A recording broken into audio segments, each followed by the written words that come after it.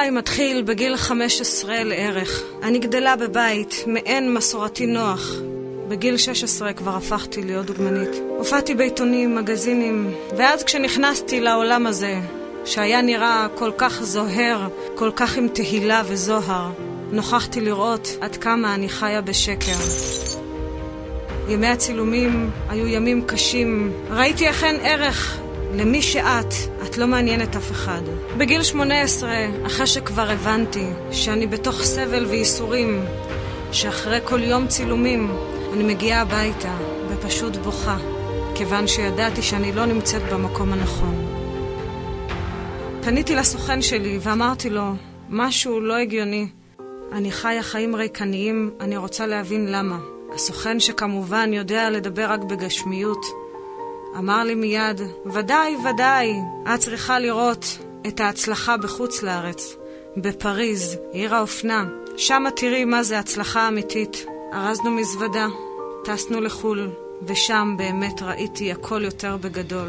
קול היה עוצמתי יותר, כוחני יותר, אבל הסבל היה גם שם, שאחרי כל יום צילומים, שוב הגעתי לחדר, ושוב בכי, ולא הבנתי למה הבכי הזה חוזר על עצמו גם כאן, כשאני זוכה לזוהר יותר גדול ולתהילה יותר גדולה. שוב פעם פניתי לסוכן בתלונה שעדיין לא טוב לי. ואז הוא אמר, כן, זהו, השגת את מה שרצית כאן בחו"ל, נחזור לארץ. חזרתי לארץ, זה היה כבר גיל 24. ובאחת המסיבות הכרתי את בעלי, אסיף בן ישי, שחקן כדורגל, ידוע בשמו. זה מאוד התאים את עצם העולם הזה, דוגמנית, כדורגלן. לאחר כחצי שנה החלטנו להתחתן. חצי שנה עוברת, ואני פשוט לא מצליחה להיפקד. קיבלתי החלטה להגיע לרופא לבצע בדיקה, ולאחר הבדיקה הרופא מביט בי ואומר לי, את לא יכולה להביא ילדים לעולם. ואני, מיד הבכי הגיע, אך בעלי, עם אמונה גדולה יותר משלי, אמר לי, אל תדאגי, נלך לרב, נקבל ברכה. משם פנינו לרב. כשנכנסתי אל הרב, הוא הביט ואמר, את באמת רוצה להביא ילדים לעולם? ומיד אמרתי, איזה אישה לא רוצה להביא ילדים לעולם? הוא אמר, אם כן, עלייך לבצע שלושה דברים. אם תבצעי את שלושת הדברים הללו, תוך שלושה חודשים מהיום את בהיריון. עלייך לשמור טהרת משפחה כהלכה, עלייך לשמור שבת כהלכתה, ולפני השינה לקרוא מקיצור שולחן ערוך. ואז סיכם ואמר, ודאי שנשמתך בוכה ערב-ערב לאחר ימי הצילומים שלך, כיוון שלנשמתך יש תכלית אחרת לגמרי. נשמתך מיוסרת במקום שאת נמצאת בה. כמובן שתפסיקי לעשות את כל הצילומים. יצאנו משם מפוקפקים ולא מאמינים, הרי איך ייתכן? יש לי בידיים מסמך שמוכיח שאני לא יכולה להביא ילדים לעולם. אך החלטנו שכן נבצע את החלטת הרב, כיוון שאולי זה הסיכוי היחיד באמת להיפקד. כעבור יומיים התעוררתי בבוקר כשבעלי כבר בעבודה, כשעל שולחן פינת האוכל אני מוצאת ספר. הרמתי את הספר ואני קוראת קיצור שולחן ערוך. אותו ספר שאמר הרב לקרוא. התקשרתי לבעלי ואמרתי לו, אסיף, כל הכבוד שקנית את הספר. הוא אומר לי, איזה ספר את מדברת? אמרתי לו, יש כאן ספר על השולחן בפינת האוכל. ואז הוא אמר, אחרי שהיה קצת שקט, אני לא מאמין, אתמול בחור ירא שמיים עמד בצד הדרך, הוא ביקש טרמפ, הוא עלה לרכב ומשם המשכנו לכיוון יבנה. הוא ירד באיזושהי תחנה ביבנה, ואז שמתי לב שהוא שכח ספר, אבל כבר הייתי בבית. הכנסתי את הספר במטרה להחזירו, אבל לא ידעתי שמדובר בספר קיצור שולחן ערוך. כשבעלי הסביר לי את הדברים, היינו בהלם שנינו, אך פתחתי את הספר והבנתי כמה אני לא יודעת כלום. כשהרב דיבר על הלכות טהרת משפחה, ודאי שלא ממש הבנתי למה הוא מתכוון. מה שאני ידעתי, שמקווה זה בור עם מים, נותנים קפיצת ראש ויוצאים החוצה. אז בתמימותי הגעתי אל המקווה, כשיושבת שם הפקידה, במרכאות. ראיתי אותה מתעסקת עם ניירת, וידעתי שמשרד זה עם פקידה. נכנסתי פנימה, הכנתי את כל ההכנות. אז כך היה, קפיצת ראש מהירה ויצאתי החוצה. באתי לצאת מתוך המקווה לגמרי, כשהפקידה, במרכאות, אומרת לי, תאמרי לי, לא נכנסת רגע? ואני אומרת לה, כן, כן, נכנסתי הרגע, תודה רבה, סיימתי. היא מסתכלת עליי בהלם. ואומרת לי, מה סיימת? אמרתי לה, זה בסדר, עשיתי מה שצריך. אמרת לי, לא, לא, לא, זה ממש לא ככה. היא פשוט הכניסה אותי חזרה, הושיבה אותי במשך שלוש שעות, והסבירה לי את הלכות טהרת המשפחה. וכך כל חודש הייתי מגיעה, לאחר שאני יודעת את הלכות טהרת המשפחה, מצוין על בוריין. בשבת הראשונה שהגיעה, מאז שהיינו אצל הרב, בעלי ראה שאני מתכוננת, והיה טמא, מה את עושה? אנחנו צריכים לשמור שבת. אז אמרתי לו, אל תדאג, לא ניסע לים עם הרכב, נלך לקאנטרי ברגל. הוא הביט וחייך ואמר, לשמור שבת זה לשמור שבת, ולא הולכים ברגל לשום קאנטרי. הבטתי על הקירות בבית, ואמרתי, זאת אומרת שאני עכשיו 24 שעות צריכה להסתכל על הקירות מבלי לעשות שום דבר? כל כך משעממת השבת הזאת? אז באמת ישבנו והתחלנו לדבר. דבר שלא עשינו מאז שאנחנו מכירים. התקרבנו יותר. הפלאפונים לא צלצלו, לא היינו לחוצים בפקקים. היה שקט, והתחלתי להתאהב בשבת, ללא כל קשר לדת, ללא כל קשר לחצאית. אהבתי את השקט שאין לו שם, הרוגע שלא יכולתי להשיג בשום יום אחר. אז כדברי הרב, שמרנו טהרת משפחה, שמרנו שבת, וקראנו מקיצור שולחן ערוך. שלושה חודשים אני נפקדת. אני בהיריון. זה היה כל כך מרגש לגלות שאני, שהרופא אמר לי, את לא יכולה להביא ילדים לעולם. עכשיו בהיריון, נפקדנו. השמחה הייתה גדולה, האושר היה נצחי, אך לא טרחתי לומר לכוח עליון תודה, ולא טרחתי לומר לרב תודה. קיבלתי, כרגיל, את מה שרציתי. בשבוע תשיעי, בדיקה שגרתית, מודיעים לי שיש לי תאומות זהות. לא רק שנפקדתי, נפקדתי בתאומות זהות, קיבלתי כפול. איזה שמחה גדולה הייתה בביתי. בעלי ואני מאושרים מאי פעם.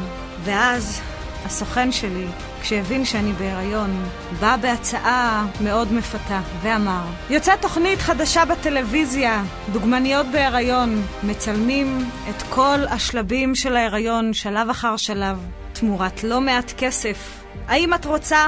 וכמובן שלא היססתי ואמרתי ודאי שכן, כשבעלי מקשיב מהצד ונעשה עצוב.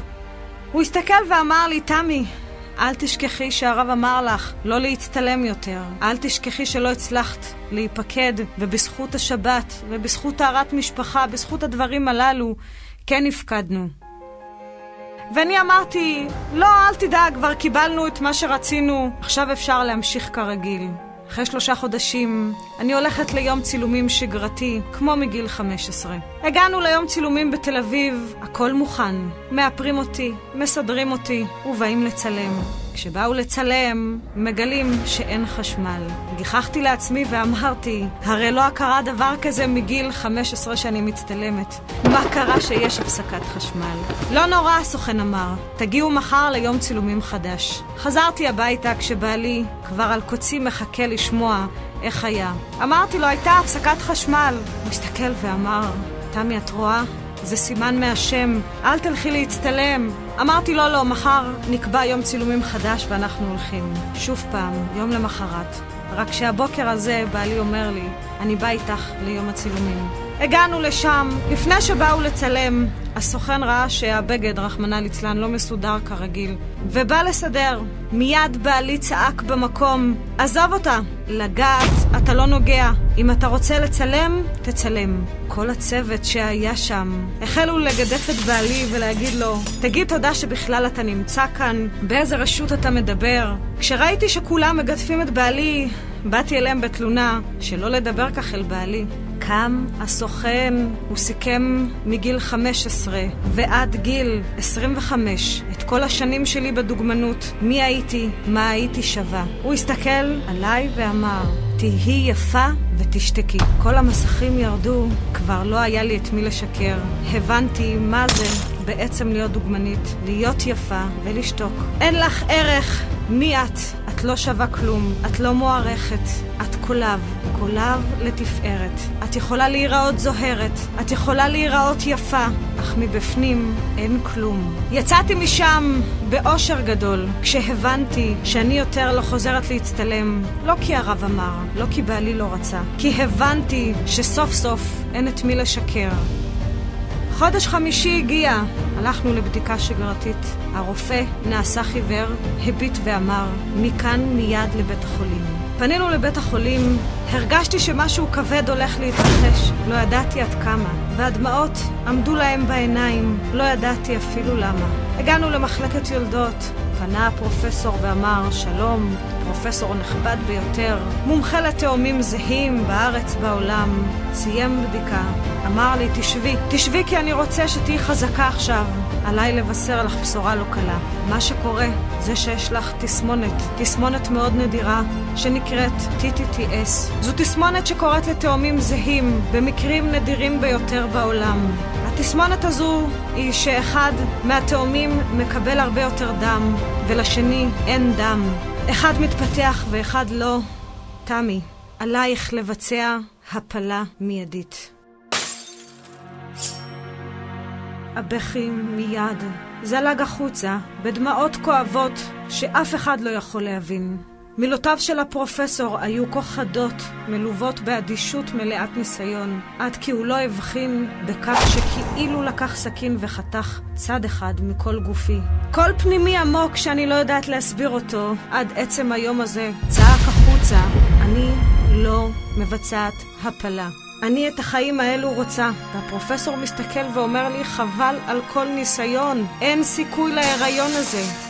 אני מכיר את התסמונת מקרוב, אין סיכוי, ולא רק שאין סיכוי, יש לך סיכון. ההיריון הזה יכול להמית גם אותך.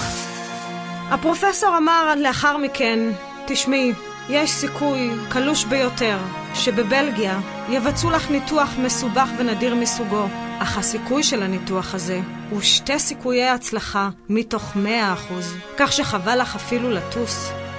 אני מקבלת את האפשרות הזאת. הוא מחליט, חד משמעית, לאשפז אותי בבית החולים לארבעה שבועות עד שיגיע יום הטיסה. וכל יום ביקור רופאים בוקר, ביקור רופאים ערב. הייתי שומעת, תבצעי הפלה, אין סיכוי להיריון. כששכבתי בבית החולים, כל כך בכיתי וחיפשתי שאבא שבשמיים ירחם עליי, והתחלתי להתפלל אל בורא עולם. כעבור שבוע מגיע הפרופסור ואומר לי, המצב הולך ומידרדר, אני מבקש ממך לבצע הפלה. אם לא, אני רוצה שתלכי לראות מומחה אחר בתל השומר. פניתי גם לשם, למומחה אחר, שוב פעם בדיקה. הוא מבצע את הבדיקה, מסיים ואומר, אני מצטער, המצב שלך הוא הרבה יותר קשה ממה שחשבנו. אני גם מחליט, חד משמעית, שעלייך לבצע הפלה. חזרתי לבית החולים כואבת יותר, מבינה שלא נותנים סיכוי להיריון. אך כבר אני לא הייתי למטה בעולם הגשמי. כבר ידעתי שאני את בקשותיי מבקשת רק מהשם יתברך. דיברתי רק אליו. התחננתי תוך תפילות מספר התהילים הקדוש. אחרי שבועיים שוב פעם נכנס הפרופסור ואומר לי, תמי תוותרי על ההיריון, ואני לא מוכנה. ואז הוא אומר, תשמעי, גשי לרב פירר. כל מה שהרב פירר יגיד לך לעשות, אני גם אקבל את דעתו. עוד פעם, אור בקצה המנהרה. לקחתי את כל החומר הרפואי, שלחתי אל הרב פירר. כעבור שעה חוזר אליי העוזר ואומר לי, הרב אמר שעלייך לטוס. יש לך את התסמונת, תסמונת לא קלה בכלל, הרב חושב שכדאי לך לטוס לבלגיה, לבצע את הניתוח. ליל שבת אחרון מגיע, בעלי הגיע לקראת השבת, וקול פנימי עמוק יוצא מתוכי, ואומר לו, בוא נלך לשמוע קידוש. הוא תמה למה אני רוצה לשמוע קידוש. בוא נלך לשמוע קידוש. אולי זה הקידוש האחרון שבנותינו תשמענה. אנחנו לוקחים את האוכל והולכים לחדר האוכל, ואז אנחנו יושבים ורואים שם רק שני זוגות חרדים. הם ערכו את הקידוש עם זמירות נעימות, אשת חיל מי ימצא. כל כך התרגשתי, הבטתי על הסיף ואמרתי שבעוד כמה זמן הייתי רוצה שגם בביתי יהיה ליל שבת כזה. הוא החל לספר מעשייה על אישה שבנה היה מוטל לפניה על סף מוות. הרופא ביקש מהאם שתיפרד מבנה לעולם. זעקותיה ודמעותיה המרגשות של האם פתחו שערי שמיים. ירדה בת קול מן השמיים ואמרה, אמא יקרה, יהודייה יקרה, אם תיקחי על עצמך כיסוי ראש, ובגדייך בצנעה תלבשי, ינצל בנך וישוב לחיים. כיסתה ראשה עם ציפת הקר, כיסתה גופה עם סדין לבן, ובאותה עת בנה חזר לחיים. ואני מקשיבה מן הצד, ושותה בצמא את דבריו של האיש. ולפתע, ללא כל הסבר הגיוני, יצא קול נפקי עמוק מנשמתי, קול שאמר, גם אני מוכנה לעשות כך. גם אני רוצה לכסות את ראשי ושבנותיי תנצלנה. יקירי ודאי חשב שדעתי נעלמה ממני, ואז הוא לוחש לי באוזן, תמי, אל, אל תדברי כך, זה לא פשוט, את בעולם אחר. ואני מוסיפה, אני מכסה את ראשי ושבנותיי תנצלנה ושתהא השעה שעת רצון ואמן. ואז מה שקרה היה מדהים. אותה אישה קמה ממקומה והחלה לבכות, ואמרה לי, אישה צדיקה, תחכי פה אל תזוזי אחרי שתשמעי מה שיש לי לומר. היא הלכה לחדרה, וחזרה עם כיסוי ראש לבן בידיים. הביטה בי ואמרה, מסיבות רפואיות אני שוכבת כאן בבית החולים כבר חצי שנה. לקחתי על עצמי לקנות מטפחת צנועה לכבוד שבת. כל שבת מטפחת חדשה. גם השבת הזו, כהרגלי, קניתי את המטפחת. לפני הדלקת הנרות אני מנסה לכסות את ראשי, מביטה במראה, ולא מצליחה, משהו לא נוח לי במטפחת. שמתי את הישנה על ראשי, הכל נוח, הכל בסדר. שמתי את החדשה, לא מסתדר, לא נוח. הבטתי השמיימה ואמרתי, בורא עולם, תיתן לי למי שייכת המטפחת הזו, ודאי שהיא לא שייכת לי. תשלח לי למי עליי לתת את המטפחת הצנועה הזו. אך לא ידעתי שברוא עולם כל כך גדול ששלח אותך אליי כעבור שעה תמימה. היא מסתכלת עליי ומבקשת רשות לכסות את ראשי. כשהיא כיסתה את ראשי, וזה לא היה פשוט, החלו דמעות לזלוג מעיניי. לכסות את הראש שלי, שהיה כביכול הסמל המסחרי שלי, זה היה קשה ביותר, אך כשהיא כיסתה את הראש, לא היה כזה נורא. הוא ישב, היה נוח, עשה לי טוב, מילא את אותה ריקנות שחזרה על עצמה במשך כל הזמן של עולם הדוגמנות. זה היה מעמד מלא עוצמה, רק מי שהיה בחדר יכול היה להבין. הרגשתי שהתחלתי למלא את רצונו של אבינו שבשמיים. הרגשתי שאולי עכשיו מישהו יכול להקשיב לדמעותיי. הצורה שבה התרחשו הדברים הייתה מעל הטבע. לא היה ספק שהתערב כאן כוח עליון. יום שני מגיע, בדיקות מבוקר ועד ערב. ניסיתי לארוז מזוודה, אך שום בגד לא כיבד, עד אשר נזכרתי שגם אני, בתור יהודייה שלא שומרת תורה ומצוות, יש לי את החצאית הלבנה של יום כיפור. מיד פתחתי את הארון של החורף, לבשתי על עצמי מעיל ארוך, כשחום אוגוסט בחוץ, חום אימים. אך לבשתי באמונה גדולה שהשם יתברך ייתן לי להרגיש טוב עם עצמי שאני בת יהודייה כשרה וטובה. עלינו למעלה והגענו כבר על הטרמינל. המשכתי ללכת בקו ישר, לא סטיתי ימינה ולא סטיתי שמאלה, לא לחנות בגדים ולא לחנות פסמים, אלא ישר על דרך המלך.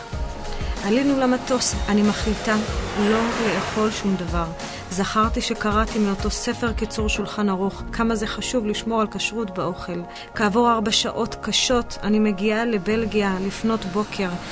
תחושת הפחד כבר החלה לפרסם מהניתוח, מהיום הקשה הזה. אני נכנסת לתוך חדר מלא מכשור מהמתקדם ביותר. חיברו אותי לכל מיני מכשירים, ולאחר שחיברו אותי והסבירו לי את סדר היום, מגישים לי את ארוחת הבוקר. אני מביטה על המגש, רואה שם מאכלים לא רצויים. כשכולם עוזבים את החדר, אני לוקחת את כל האוכל ומשליכה לפח. לא אוכלת יום ולילה שלמים. יום למחרת, יום רביעי, יום קשה ביותר. מגישים לי ארוחת בוקר, שוב פעם, כולם עוזבים את החדר. אני אוספת ומשליכה לפח. לקראת הצהריים פניי נעשו חברות, ומשם איבדתי את ההכרה. מילאו אותי באנטיביוטיקה עד שחזרה הכרתי. הרופא נעמד שם ואמר לי, אני מבין שאת לא אוכלת כי את מתרגשת מהניתוח. אני מבקש ממך, הנה, הבאנו לך את כל מטעמי בית החולים, אני רוצה לראות שאת אוכלת. הבטתי השמיימה ואמרתי, בורא עולם, תעזור לי לעבור את הניסיון הקשה הזה. ואז בעלי התמים נכנס עם מקדונלדס ביד. ואומר לפרופסור, אל תדאג, מקדונלדס היא אוהבת, היא אוכלת, היא תאכל את זה. כן, אני יודעת שגם מקדונלדס לא כשר, אך בעלי תמים ולא ידע שאני לא אוכלת שלושה ימים. אמרתי לבעלי, לך תביא לי מים רותחים עם סוכר, זה מה שהייתי שותה שלושה ימים. הוא יצא לשם, חציתי את הכריך לשניים. חצי זרקתי לפח, וחצי פיזרתי על עצמי שיראו כאילו ואכלתי. בעלי נכנס לחדר, היה בהלם איך אני אוכלת בעמידה, תשבי, תשבי. אמרתי לו, זהו, סיימתי, אכלתי, היה לי טוב. ואז, כעבור שעה, שכביכול אני שבעה, נכנסת האחות ואומרת לי, זהו, עכשיו עלייך להיות בצום, מחר זה יום הניתוח. כולי מגחכת בפנים ואומרת לה כמה אני מוכנה לניתוח, אני שלושה ימים בצום, כל אותו לילה. לא ישנתי עם תפילות ותחנונים להשם. כמה התפללתי להשם, בורא עולם, אבי מלכי, יודעת אני כי הייתי בדרך לא טובה. כל רצוני לעלות על דרך המלך, להיות בת טובה וכשרה, שתהא אב גאה לבת שמגיע לה להיות יהודייה. רחם עליי, רחם עליי. מתוך העוני שלי היום לוקחת אני את בגדי הצניעות ומכסה את גופי וראשי כפי שציווית. עשה את רצוני ותוכיח לי שאמת אתה ותורתך אמת ויתהפך עליי גורלי ואצא מחדר זה כששתי בנותיי ברחמי בריאות ושלמות. לעולם לא אסור מדרכך, נשבעתי בזאת שאכסה ראשי וגופי בצניעות וכל חיי יהיו הם לשם שמיים. אני מתפללת להשם יתברך וכבר קוראים לי לחדר הניתוח, ליום הגורלי ביותר בחיי, יום שבו אני מונחת בין חיים ומוות. הפרופסור נכנס לתוך החדר, אולטרסאונד אחרון לפני הניתוח. הוא לובש כפפות, מכבה את האור. אני עוצמת את עיניי לראות את חן בנותיי שלי, ואני מנסה בכל כוחי להיכנס אל תוך רחמי באור עצום ולדבר אליכן, בנות שלי, בנות יקרות שלי, לאור שאתן רואות כעת קוראים אימא. אני מדברת אליכן ממעמקי נשמתי. אנא, תבטיחו לי, תשמרו ותגנו אחת על השנייה, ואל תעזבו אותי. אנא תבטיחו נא לי, שלא תניחו לאחת מכן למות. אנא, בנות יקרות שלי, תבטיחו נא לבורא עולם שתמיד תהיינה בדרך המלך, רק כך ישמורו עלינו מכל משמר. תהיינה חזקות מכל רוח שתבוא בדרך. וכמה שהדרך תהיה קשה וכמה ניסיונות שיבואו עליכן תילחמו. וכשיבוא יום האמת, יום הדין, אל יהי פחד בלבכן. זהו השכר שיוענק לכן. תתפללו איתי יחד אל אבינו מלכנו. אנא אדוני הושיע נא, אנא אדוני יצליחה נא. ופתאום מבטו של הרופא השתנה, הוא כמת את גבותיו, הוא לא הבין מה מתרחש. הוא מנסה לראות, אולי המכונה מתקלקלת, אולי הוא לא רואה טוב. הוא בודק את המכונה. הלחץ עוד יותר גובר, הוא מנער את המכשיר, חשב שנשתבשה עליו דעתו. הרופא עזב את החדר בריצה אחרי 45 דקות שהוא מנסה בסך הכל לראות את תנוחת העוברים כדי לדעת איך לגשת לניתוח. הוא נכנס עם רופא אחר ועכשיו שניהם עושים את הבדיקה. הם מדברים ביניהם חצי בלגית, חצי אנגלית, ואנחנו מנסים להבין אבל לא אומרים לנו חצי מילה. לאחר שעה וחצי הם יוצאים מהחדר, קוראים לאסיסטנטית של המנתח, ועכשיו גם היא מבצעת בדיקה. והם לא מבינים, וגם אנחנו לא מבינים מה קורה. אותה אסיסטנטית, לאחר שסיימה את הבדיקה, החלה לבכות ופשוט ישבה אחורה על הספה שהייתה שם בחדר. הם שולחים אותנו לחדר, כשאני בטוחה שאיבדתי את הכל, איבדתי את ההיריון, הם לא יודעים רק מה להגיד. כעבור שעתיים נצחיות, הם הגיעו, כל הצוות הרופאים והאחיות שליוו אותי במשך כל ארבעת הימים. לא הבנו למה כולם צריכים לבוא, מה יש להם לבשר לי. אחד הביט בשני בתימהון, אף אחד לא ידע מי, מי ידבר עד שנתנו את רשות הדיבור למנתח, פרופסור דה פרסט. הוא מביט עלינו בתימהון, וכך הוא אומר: תראו, אנחנו די מבולבלים. אנחנו לא מבינים מה התרחש בחדר הניתוח עכשיו. התוצאות של הבדיקות שעשינו כרגע נוגדות את כל הממצאים שיש בידינו, וזה מאוד מוזר. לא חווינו תופעה כזו מאז שאנחנו יודעים על התסמונת. לא רק שלא יהיה ניתוח, הסיכון להתערב כירורגית ברחם שלך מסוכן ובלתי אפשרי. עוד לא קרה שהגיעה מטופלת עם תסמונת ה-TTTS שלא התערבנו כירורגית ברחם. מבחינתנו את חוזרת הביתה עם שני עוברים בריאים ושלמים.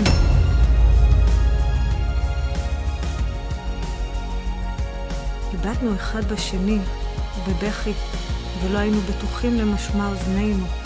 רק הבנו שלא התקיים שום ניתוח. רגע לפני שהם עוזבים את החדר, פונה אליי האסיסטנטית שבכתה. היא מסתכלת עליי ואומרת לי, תסתכלי על הטאג שלי. שם משפחתי הוא לוי. אני יהודייה מהסבא של הסבא שלי. אני רוצה לומר לכם שמה שעברתם עכשיו בחדר הניתוח שלנו כאן בבריסל היה נס מהאלוקים שלכם. עוד לא ראיתי דבר כזה, ועזבה את החדר בפנים המומות. הבכי שפרץ מתוכי כמו סכר שנפתח לרווחה. יצא החוצה ויצא ללא סוף, ובעיקר מהידיעה שכרגע זכיתי אני לראות נס במו עיניי. לא אולי היה נס, היה נס גדול. עכשיו יותר מתמיד הבנתי שאני מדרכו של האל לא סוטה. הבנתי את תכלית חיי, את הסיבה לקיומי. הבנתי שאני בת לאבי אחיו קדוש, ולכן עלינו להלל, לשבח, לרומם, לפאר את היחיד פותר התעלומות. בורא עולם, מאז לא הנחתי לדמעות לשוב. עכשיו כשאני יודעת שאני בדרכו של האל, אינני חוששת מדבר. אמונתי באל הפכה כאדם עיוור, שלא רואה אלא רק את דרכו של האל. הבנתי שאמת יש רק אחת. הם היו בהלם בעצמם ולא הניחו לי לחזור במהרה הביתה. הם רצו שישר להשגחה שמא ישתנה משהו. הם לא הבינו איך לאחר כל הבדיקות החוזרות ונשנות לא יתבצע הניתוח. הבדיקות שלהם והבדיקות בארץ, דבר לא נראה להם הגיוני. הדבר שהם ראו נגד את כל הממצאים הרפואיים שביצעו עד כה. איך ייתכן שבמשך חמישה שבועות של שמירת הריון ובדיקות יומיומיות של הטובים שברופאים, פרופסורים מומחים, ועוד שיש הסכמה חד משמעית לביצוע הניתוח, ובבדיקה המכרעת, רגע לפני הניתוח, מגלים שאין כלום. הם השאירו אותנו שם ושלחו אותנו לבית הערכה. כעבור חצי שעה באוטובוס שאנחנו נוסעים לבית הערכה, אני רואה מקום חשוך ומוזר באמצע לב יער. אנחנו נכנסים פנימה ואני רואה שכל חדר הערכה שאני אמורה לישון בו מלא בצלבים. ואני אומרת לבעלי, אני פה, לא מוכנה להישאר, אני לא נשארת במקום הזה. ואני בחוץ, על ספסל, מתפללת להשם יתברך ובאמת זועקת לשמיים כי אני באמת גוססת ברעב. בורא עולם, תשלח לי לפחות לאכול דבר אחד. ואז, משום מקום, מגיע רכב. בתוך נמצא בחור ירא שמיים. הוא אומר לנו, אתם משפחת בן ישי? אנחנו מביטים בו בתימהון מאיפה הוא הגיע. אנחנו אומרים כן, הוא מסתכל עלינו ואומר, נשלחתי לעזור לכם, קדימה תיכנסו, הוא מכניס לנו את התיקים. הוא נוסע במשך שעה וחצי כשאני פשוט גוססת ברעב. ואז הוא אומר לי, זהו, הוא אומר לנו, הגענו, הגענו לאנטוורפן. אני רואה נשים צדקניות עם מטפחות צנועות, כמה ילדים לידן. זה היה מראה מרהיב. ואז הוא עוצר ואומר, זהו, הגענו להנה. מוריד את התיקים שלנו בבית מלון יוקרתי חמישה כוכבים. הוא לא ידע עד איזה יום אנחנו צריכים להיות שם, הוא לא ידע שום דבר, פשוט אומר לנו, הכל שולם מראש. אנחנו נכנסים פנימה, אני רואה שהמקום שה... לא... אין שם יהודים שומרי תורה ומצוות. אני מסתכלת על בעלי ואומרת, תשמע, אני לא יכולה לאכול פה, האוכל פה לא כשר. בעלי מנסה להבין מה אני מנסה לומר לו, והוא אומר לי, שלושה ימים את אוכלת. אז אמרתי לו, לא, לא, לא, אני לא אוכלת שלושה ימים, לא אכלתי, האוכל פה לא כשר, ולא רציתי לאכול לא כשר. ואני חייבת לאכול אוכל כי אני פשוט גוועת ברעב. ואותו האיש, שמעיה, אומר לי כך, תשמעי כמה הקדוש ברוך הוא אוהב אותך. הולכת להיות כאן חתונה. חתונה חרדית, וכל האוכל הולך להיות כאן כשר מהדרין למהדרין. את יכולה לאכול כאן מהיום וליל שבת, ועד יום רביעי את יכולה לאכול כאן, הכל כאן כשר, וכל האורחים יהיו יהודים שומרי תורה ומצוות. ואני פשוט מביטה שמיימה ואומרת, בורא עולם, כמה כוח. כמה ניסים, כמה אתה יכול לתת לבת שלך. נכנסתי לחדר האוכל כשאני כבר רואה שמתארגנים לחתונה ואומרים לי, תשבי, תשבי לאכול. ואני יושבת לאכול, רק אני לא שוכחת לברך. וכך עברנו את ליל השבת. יום רביעי, כשכבר הבינו שהכל בסדר, חזרנו לארץ, ארץ הקודש. איזה כיף היה לראות את השמיים הכחולים כשמרגישים אווירה של קודש בכל מקום. ואז כבר לא הסכמתי להתאשפז, הוגדרתי כנס רפואי. הרופא פשוט לא יכל היה להביט בפניי. איך יכול היה להגיד שנכשל בכל מה שאמר? אבל לא האשמתי אותו כיוון שידעתי שבורא עולם נטע פה כוח עליון שנגע בכל סיפור חיי. ג' באלול הגיע. אני באה לבדיקה שגרתית בבית החולים. נכנסתי לקרדיולוג, והקרדיולוג בפנים מודאגות אומר לי, לגשי מיד לפרופסור שלך. ניגשתי לפרופסור, והפרופסור אומר לי, מתי אכלת פעם אחרונה? ואני אומרת לו, עכשיו. הוא אומר לי, בסדר, מעכשיו את לא אוכלת. זה כבר היה מוזר. מעכשיו לעכשיו, תוך חמש דקות כבר הייתי מורדמת. זה היה בעשר בבוקר. ב-11 בלילה אני מתעוררת. כשנודע לי שנולדו בנותיי תהילה ואודיה במשקלים של כ-800 גרם, הם נולדו בריאות ושלמות בכל איבריהן, וכמובן שנולדו כבנות מלך לאבינו השם שבשמיים. כשהתעוררתי, בעלי אמר לי, אני רוצה לקחת אותך לראות את הבנות שלנו. אנחנו הולכים לשם לפגייה, כיוון שהם נולדו בסוף חודש שביעי, אני נכנסת ורואה עוד נס גלוי בעיניי הדומעות. יצור כזה קטן מסוגל לחיות כמה גדול כוחו העליון של בורא עולם. ודאי שמי שיצר וברא עולם זה בניסים כה רבים ופלאיים, שכוחו מעל כוחות הטבע שברא, יכול להפיח נשמת חיים בכל אשר יבחר. הוא בחר בתינוקות שרופאים הטובים שבהם קבעו כי לא יוכלו לחיות, כי אין סיכוי, שכדאי לבצע הפלה, רחמנא ליצלן. ליבי זועק השמיימה, לו לא הייתי מקבלת את אמונתי בהשם. היום חלילה וחס לא הייתי במעמד מרהיב זה, לו הייתי מקשיבה לכל ביקור רופאים, בוקר וערב, לבצע הפלה רחמנא ליצלן. בני אדם בשר ודם מביאים לידי ייאוש, עצבות, מרות. לכן, אם את עם אמונה חזקה בלב, אם יש לך אמונה של בת ישראל אמיתית בהשם יתברך, שהכל בידו ורק הוא קובע, רק אמונה ולהתפלל אל מי שיצר וברא אותנו. מי ייתן ונבין כולנו, כעם אחד, את גדולתו של השם יתברך.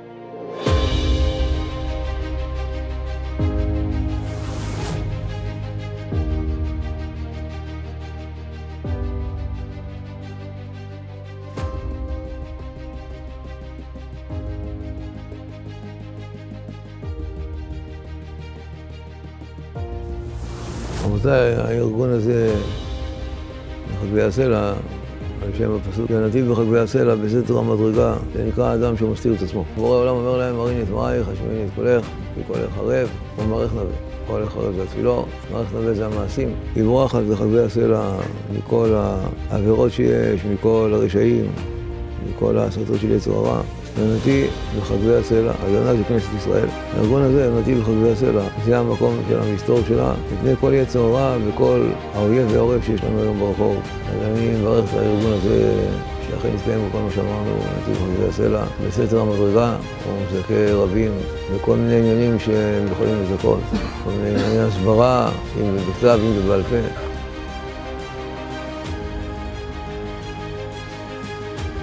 על ידי כל מיני שליחויות, וכל מה שצריך בדור הזה. אז אני מברך אותם ברכה שלמה, כל מי שעוזר להם, כל מי שמסייע להם בעצמם. יהיו מבורכים ממקור הקודש, וימשך עלינו מידת הרחמים. על ידי מגן אבות, מגן אברהם, ימשך רחמים גדולים לישראל, בזכות רבי שמעון בר יוחאי, בזכות רבי אלעזר בן רבי שמעון, ויותם בן עוזיהו עמהם, כבוד המשולם שלום במהרה ינתק. נזכה כולנו ביחד לגאולה בקרוב, אמן ואמן.